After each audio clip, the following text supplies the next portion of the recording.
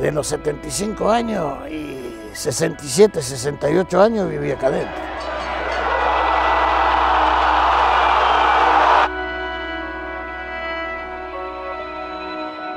Nunca me pude sacar la mochila del jugador de barrio.